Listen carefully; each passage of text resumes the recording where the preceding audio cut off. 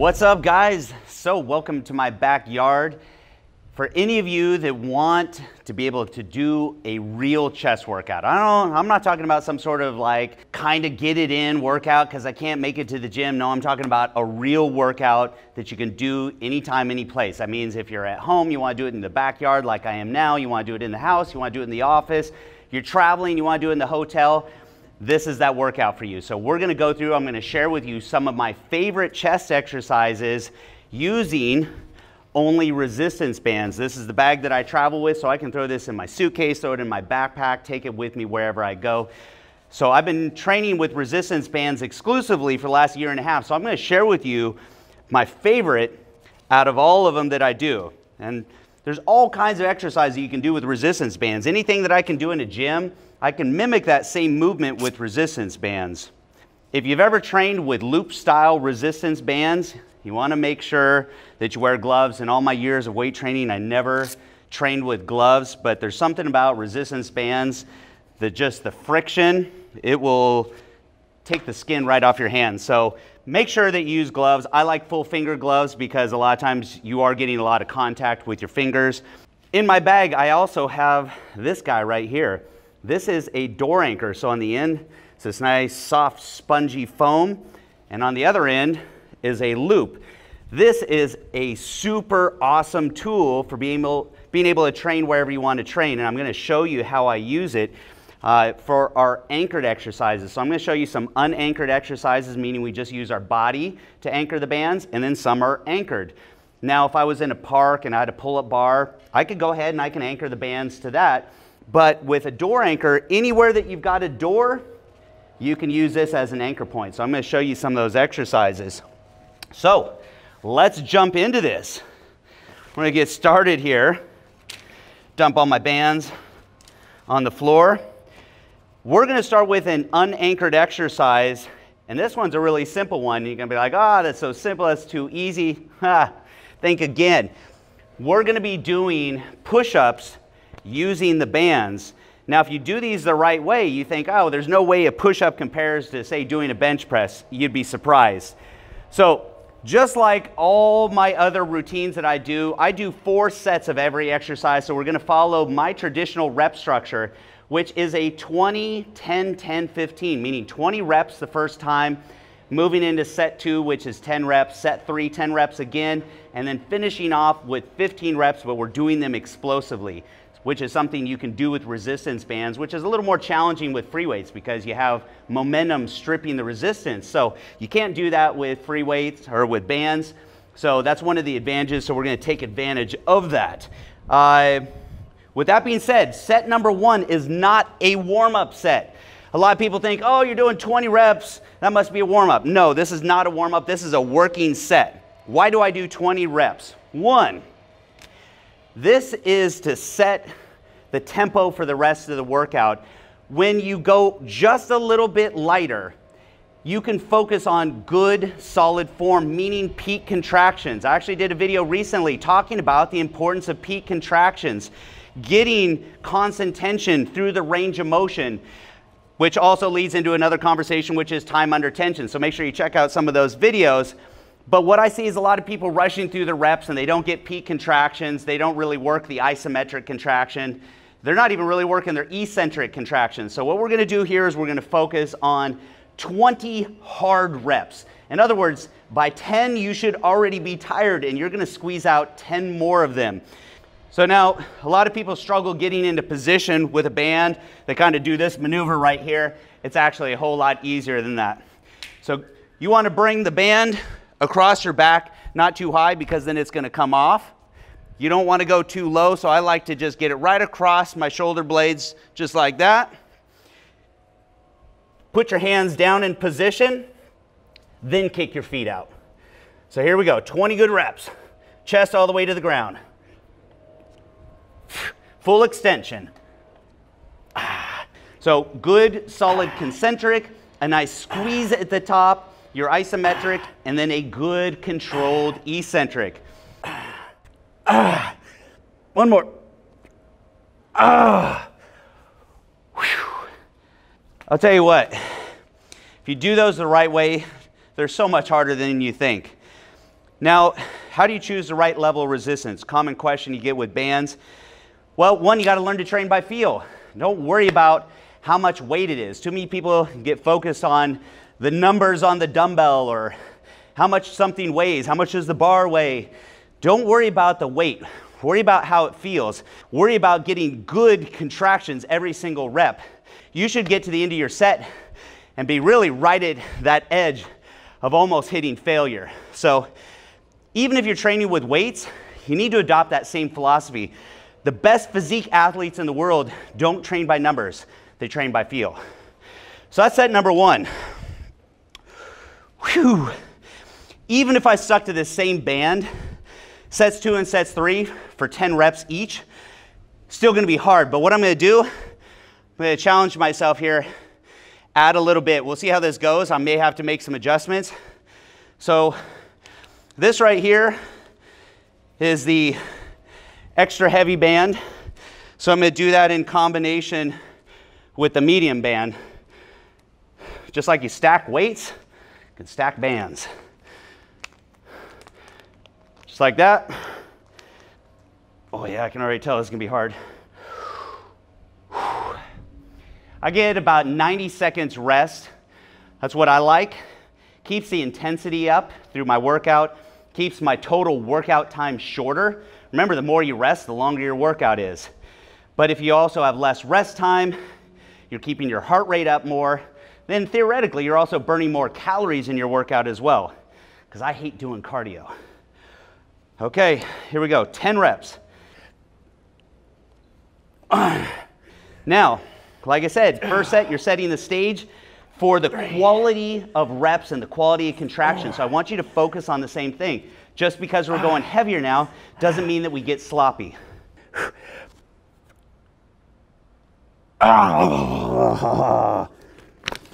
So you see, I couldn't even get the 10th one there. That was, that was nine and a half. What I'm gonna do here for this next set, since I didn't get 10, that is my goal, I'm going to drop from this medium to this guy right here, which is the light band. So I'm going to do the extra heavy plus the light. Now, the big thing here when doing push ups, what do most people do when they do push ups? They think about how many can I do? How many push ups? And they'll do it at all costs, meaning sloppy form. So they're not going all the way down. It also means that they're not squeezing all the way up. And what I want you to do is as you get to the top, don't just press it here. I want you to think about squeezing your chest together. Almost think about bringing your hands together. Obviously, you're not going to because they're planted firmly on the ground.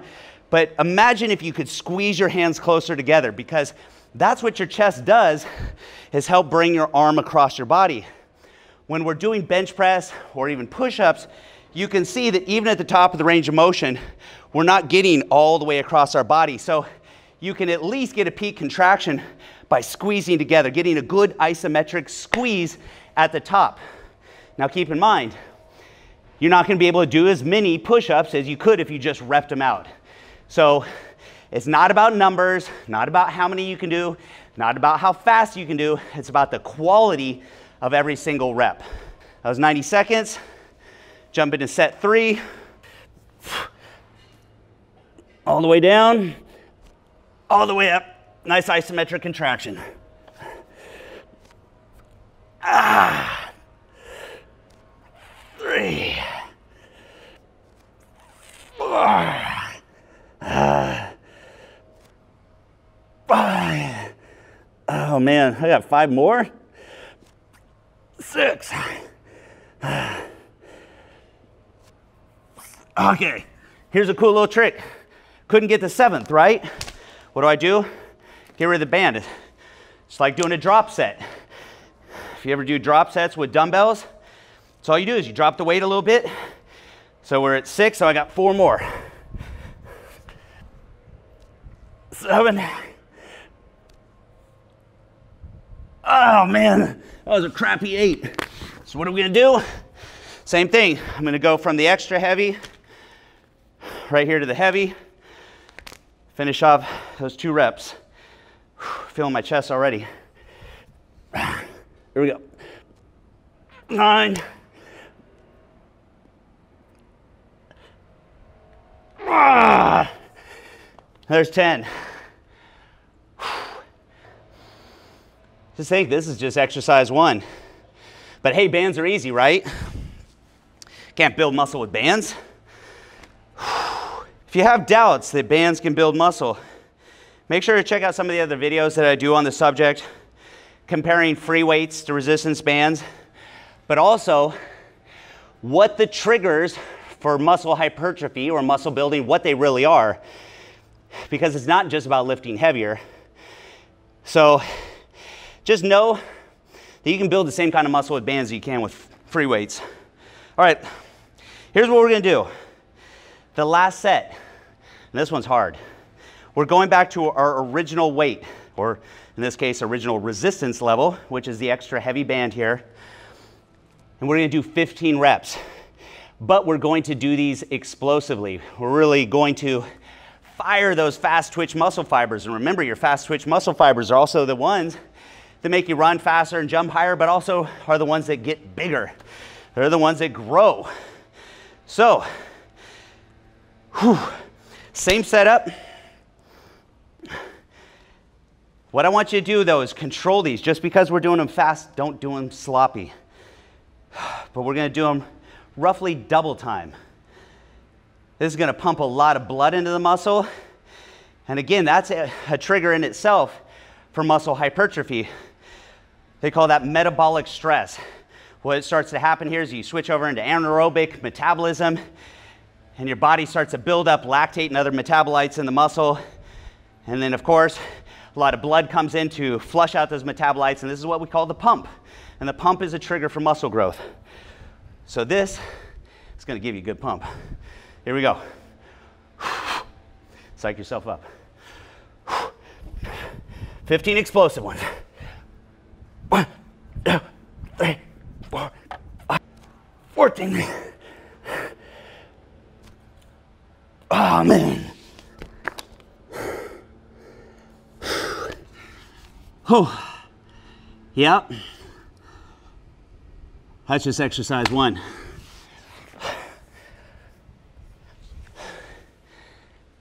It's a good time to take a drink of water gather your composure, and get ready for the next exercise. Now, with resistance bands, we're not reinventing the wheel here. We're not really training any different than we would train with weights or machines. Same concept here, same kind of split, same kind of exercise variety. And with that being said, we're gonna be doing two compound movements. So we just did one of them. So remember a push-up is a compound movement. We're not just using our chest, we're also using our anterior delts and our triceps as well. We're gonna move into another compound movement, which is another press, before we move into some of our isolation exercises to really target our chest. So this next one is a single arm incline press. And we're gonna use our door anchor here now, just like you'd approach in the gym doing bench press, and then you'd move to incline to target upper chest, we're gonna do the exact same thing. So, first, let me show you how to use this guy. All you need is any door. Doesn't have to be a door like this, any kind of door. Open the door, take the soft foam end, put it through the door, make sure that the strap is flat against the door. Simply close it. That's it. Now, because we're gonna be doing a incline press, that means I want my angle of pull to be going up. So what I'm gonna do is go lower with this. And that's one of the cool things is we can anchor this at all, all sorts of positions. I could anchor it really low. If I want to do some back movements, let's say I want to do straight arm push downs, I could anchor it up high. So we're gonna anchor it down here, just about hip height, maybe a little bit lower. I'm gonna take this extra heavy band, and the way you do this, run it right through the loop in the anchor, just a little bit, just enough where you create a loop here, and then you're running the band through itself. Just like that. Normally, I like to do this the opposite way. So when I close the door, when I'm doing the exercise, it's pulling the door closed, not the opportunity for the door to open. So this door swings out. So if I pull on it and it wasn't latched, it would open. You don't want that. You don't want the door anchor smacking you in the back of the head. So make sure your door is actually shut. Okay, loop your hand right through. What we're gonna do, the foot that's on the same side as your hand, that one's gonna go back. Step far enough forward where you start to get a good stretch on your chest. Don't turn your body this way. I want you to square up your body, and by doing so, you're gonna feel that tension on your chest. So the key to resistance band training is you need resistance all the way through the range of motion. People say, yeah, but there's not enough at the bottom. I'm doing curls and it's too easy. Well, that's because you're not stretching the band enough. So in an anchored exercise like this, you just step further away. You have linear variable resistance, meaning the more I stretch this, the harder I get, or the harder it gets. So if I want more resistance, I step further away. If it's a little too hard, I can step a little bit closer and it'll be easier. So you're gonna have to kind of feel this out. Set one, 10 reps, or not 10 reps, sorry. Already spacing out here, the push-ups wore me out. 20, 10, 10, 15. So we got 20 reps here. We'll see how this feels with the extra heavy. I might have to drop down to the heavy. All right, so square up your chest. You can place your other hand right on your thigh here and brace yourself. There's one thing that people aren't used to with resistance bands. You have to stabilize yourself, and this is why it's great functional strength is because you have to transfer all that power from the ground up through your legs and through your core. You have to stabilize here. All right? That's what it's going to look like. So we're coming up to about this height right here. Full extension. Step forward a little bit. I want a little more tension. You want to feel enough resistance at the very back. If you don't, just step forward a little bit, stretch the band a little bit, you'll get more resistance. You got to feel tension at the back. You want to stretch here. Adjust your foot position to get the right tension. And then make sure you really get that isometric squeeze. In other words, don't just push forward here. I want you to think about pushing towards your midline. See the difference between pushing here versus pushing here. Remember, again, our chest brings our arm across our body. So if we want to really get that peak contraction, think about pushing towards your midline. Just like our push-ups, now we're gonna bump up the resistance. Set number two, we're gonna do 10 reps. Same thing with set number three.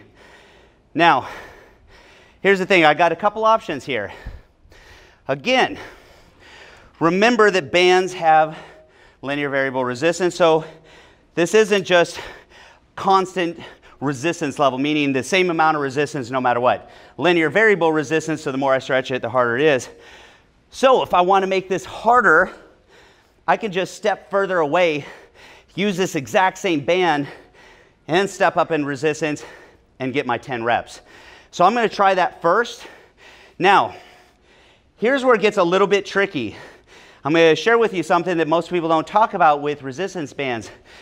The more I pre-stretch this, the more I'm taking the variable resistance out of it. So at the beginning of the range of motion, it's almost as hard as at the end. So I've got two options here. I can pre-stretch it more, and then I'm taking out that linear variable resistance, and it's gonna be hard all the way at the back here, all the way through. Or if I want more linear variable resistance, I'm just gonna go ahead and add another band to it and not pre-stretch it as much. So that's kind of a whole video in itself, so I'll probably tackle that subject another day. So this is about where I started before, my feet. I can feel that tension right, well, maybe not, let me see. Yeah, this is my starting point from before. It doesn't take much, so I'm gonna creep up a half a step, and I can already feel the difference. Here we go. Oh yeah, one, two, three. Oh, come all the way back, get that stretch. Five, six, seven, eight, nine, uh, ten. Jeez. So you can see by stretching it just a little bit more, created a whole lot more resistance. One of the challenging things about doing presses like this with bands is that you have to stabilize yourself. And that's the thing that a lot of people aren't familiar with. They're used to having the luxury of bracing themselves on a bench somehow, you know, laying down or sitting down. So you have nothing to brace yourself with.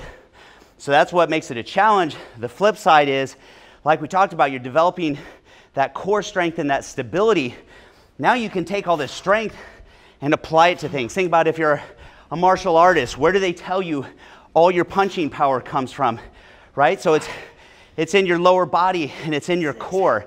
So now we're developing functional strength. So if you're an athlete, this is especially important. That's why the best athletes in the world incorporate resistance bands into their training. Yeah. All right, I want you to remember every single rep counts. It's not just about your set, it's about every rep. Take advantage of the three kinds of contractions. Your concentric, but then get that isometric squeeze, really get a peak contraction. Then a nice controlled eccentric. So get, get all three of those. A lot of times what people do is they rush it. Boom, boom. So there's the concentric, but there's no isometric squeeze and there's no controlled eccentric. So it's not just about controlling it. You got to think about time under tension. That's the other major variable there. So if I go out and it's one second and one second back, that's two seconds per rep. Multiplied by 10 reps, that's only 20 seconds of time under tension. You need about 30 to 70 seconds of time under tension per set for maximum muscle hypertrophy. So change it up, 10 reps, one second, a second hold on your isometric, and a two second eccentric. You just doubled your time under tension there to four seconds per rep times 10, now you're at 40 seconds. So that falls right in that 30 to 70 seconds. So it's not just about controlling your eccentric just for the sake of controlling it for good form. There's a reason you want to do it. With that being said, we're moving in to kicking our water bottle. We are moving into our fourth set of these. Just like our push-up, we're gonna make these explosive. Now think about time under tension again. We're going back to 15 reps. But think about time under tension here. Because we're doing them faster, just because we're doing 15 doesn't mean that this is muscular endurance. No, we're still falling into that 30 to 70 seconds of total time under tension. So there's still muscle building benefits here, not to mention metabolic stress, which is what we talked about, that pump. Doing these reps is gonna give you that pump, gonna be a trigger for muscle growth. So we're gonna strip off this light band. We're gonna go back to just the extra heavy band and we're gonna blast out 15 explosive presses. All right, maybe doing them fast, but remember, good form. Ah, here we go. Five, six, seven, eight, nine, ten, eleven, thirteen,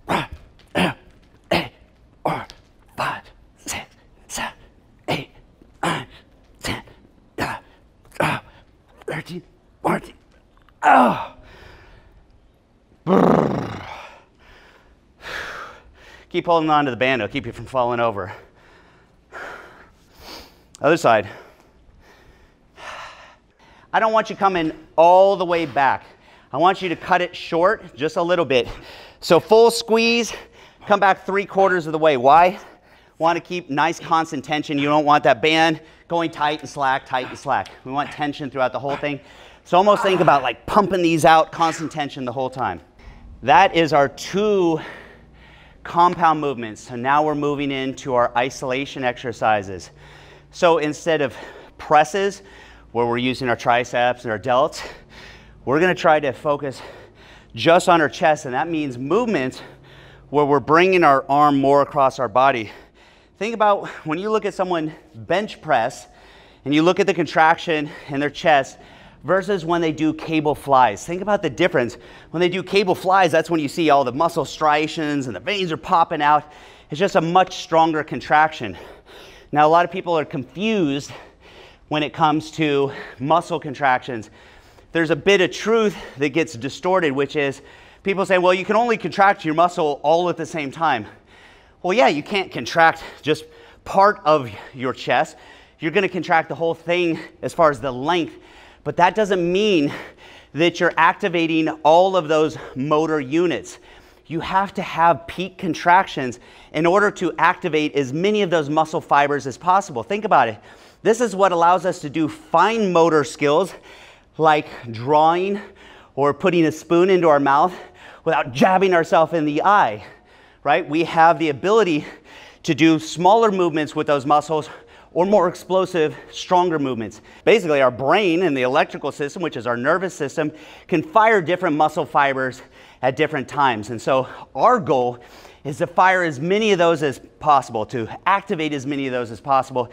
In order to do that, you want to get full range of motion, you want to get maximum resistance at that peak contraction. So, that's what we're going to focus on here. I'm going to open the door and I'm going to anchor this right at chest height here.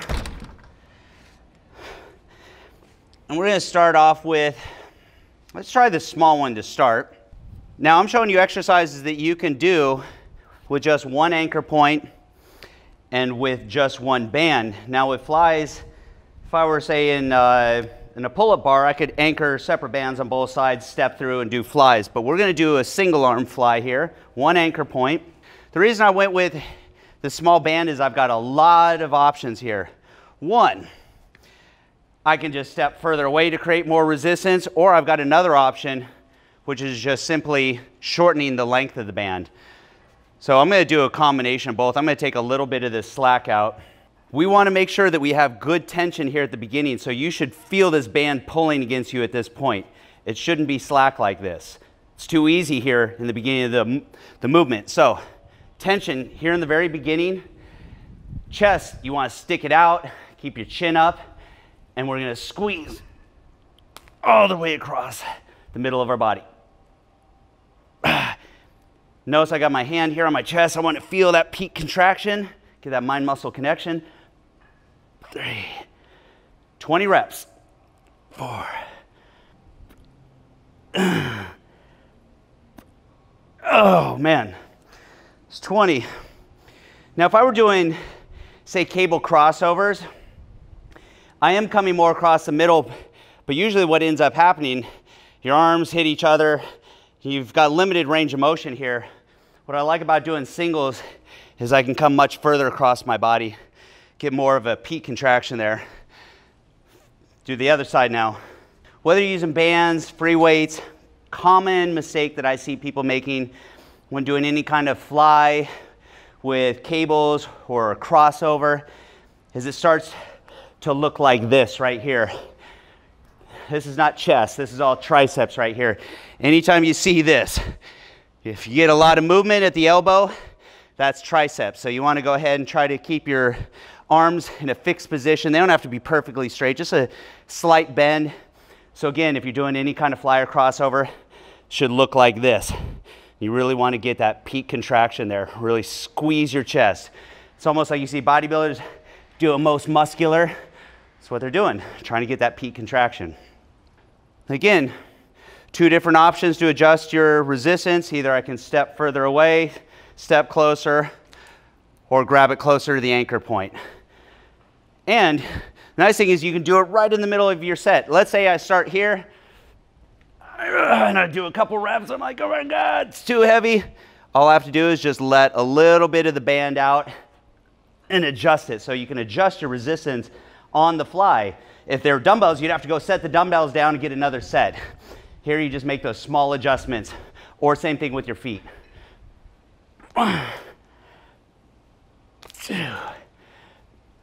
You want to feel every muscle that you train. You shouldn't go through a workout and just feel tired. You should actually feel the fatigue and the pump within that muscle. That's the difference between like strength building, powerlifting, versus what we call bodybuilding. With bodybuilding, you're sculpting. You're putting muscle where you want to put muscle, which means it requires, like I said, that mind muscle connection and that focus, being able to really target muscles. I always tell people all the time that if you were pushing your car, if you ran out of gas, would you rather push the car by yourself or would you have three friends help you? Of course, you'd rather have three friends help you. It's going to be easier to do. Well, your body's the same way. if you do a movement, your body wants to recruit as many muscles as possible for the movement. So it requires a lot of discipline, a lot of focus to override that and to just really focus on the one muscle that you're trying to train, not recruit other muscles. So when we talk about isolation, that's what we're talking about. It's almost, it's that mind-muscle connection slash discipline. We're gonna do our third set, 10 reps each side, just like set two, before moving on to our fourth and final set, which you already know what it is. It's gonna be 15 explosive reps. All right, that was our third exercise. We just have one exercise to go. Now, I showed you one compound movement that was unanchored, which was our push-up. Now, I like unanchored exercises because I can do those anywhere. For example, just recently I went on a trip and I did a full workout on top of a mountain.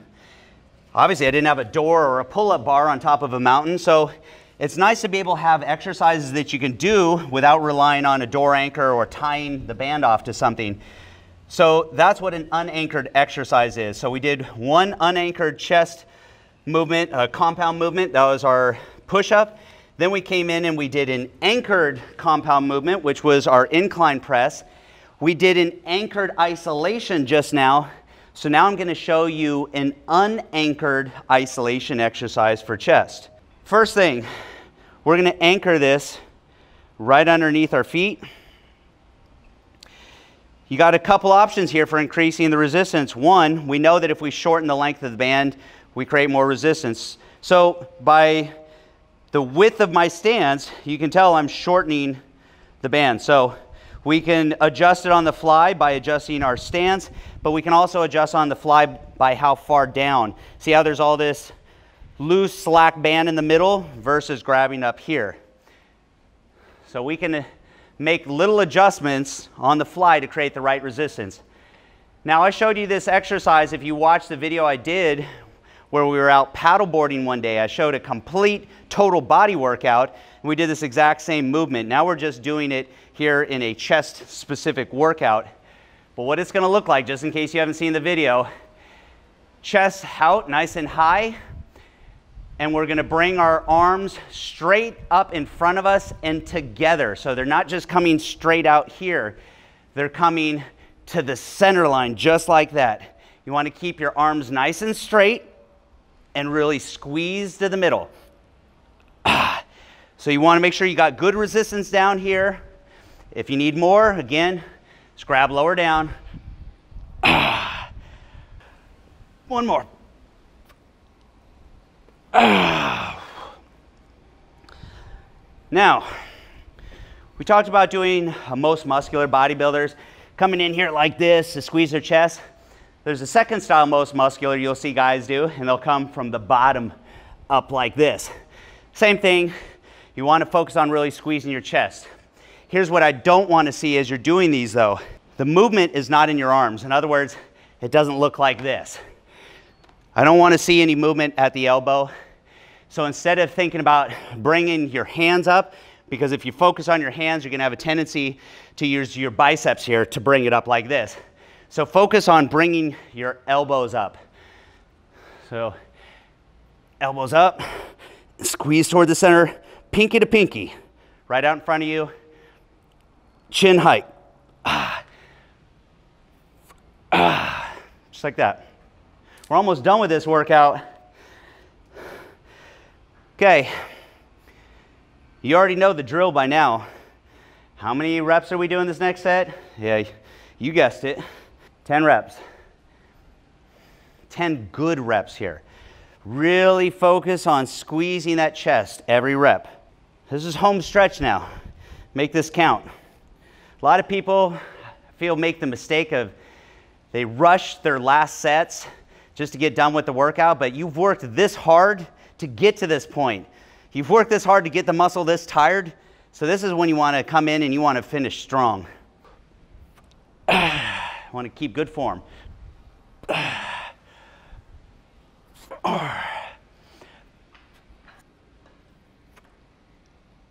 Ah, there it is. Mmm. Feeling it. Gonna be sore tomorrow. I don't think I need to tell you how many reps we're gonna do on our third set. you got the routine down. 90 seconds rest, shake it off, toughen up, suck it up.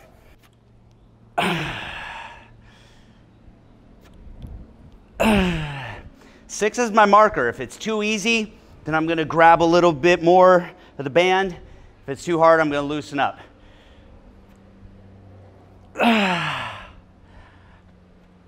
Eight, nine,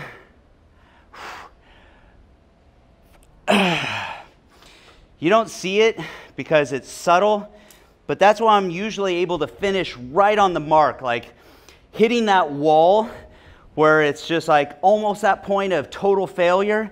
Why is it that I always hit my mark with my reps? It's because I'm making those little adjustments on the fly. You just can't really see it. In between each rep, if I feel like it's too easy, I'm subtly grabbing just a little bit more, or if it's a little bit too hard, I'm loosening it up just a little bit. So adjusting that resistance. So when people say, well, you know, that's the thing that I don't like about resistance bands, it's not a fixed weight, doesn't have a number on it, you're right, it doesn't. But with everything in life, it's a double-edged sword. There's the good and there's the bad. So the bad, yeah, you're right, it's not one fixed level resistance. The good is it's not one fixed level resistance. So it makes it easy to really maximize the, the value of every single set. And if you don't want it smacking you in your junk, just take out some of that slack.